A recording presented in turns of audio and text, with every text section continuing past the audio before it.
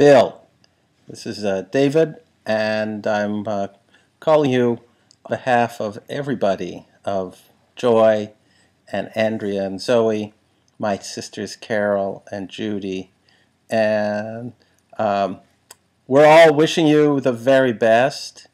I understand that the fighter you are, uh, this will take a little while, but you're going to pull through.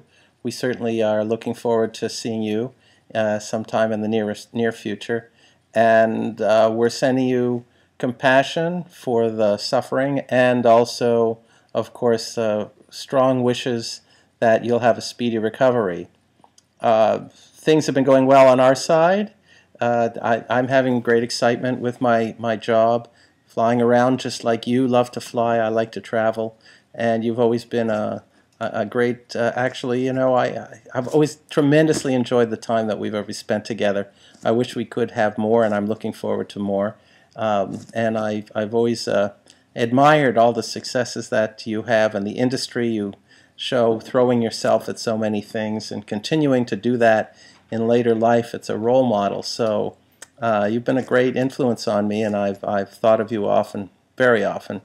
Um, so do the right thing, hang around a while, please, and we send you love. It's a short message, but uh, long enough. And Thelma, thank you for all the love and strength that you're, you're doing there to to help out. I know it cannot be easy, um, but um, he's worth it, every penny.